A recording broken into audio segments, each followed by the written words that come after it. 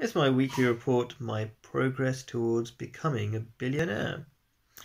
I've restarted working on a very important book for myself. It's probably the most important project I have, which is writing the book Islam and the Happiness Revolution, which is about making everybody happy, including the environment and their health, etc.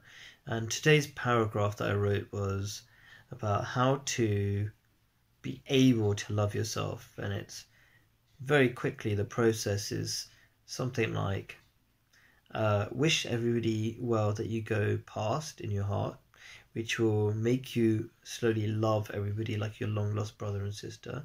And when you indiscriminately love everybody you'll stop discriminating against yourself.